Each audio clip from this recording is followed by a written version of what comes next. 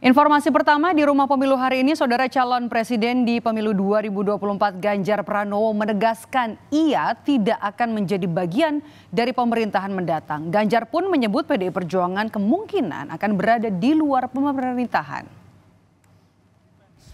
Ganjar menegaskan tidak akan menjadi bagian dari pemerintahan mendatang termasuk jika ada tawaran menjadi menteri.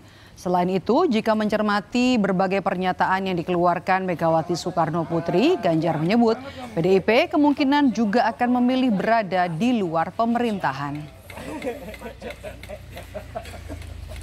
Oke, siapa? Perjuangan belum selesai. Ada tawaran menteri, ya. Wah itu sudah saja berkali-kali.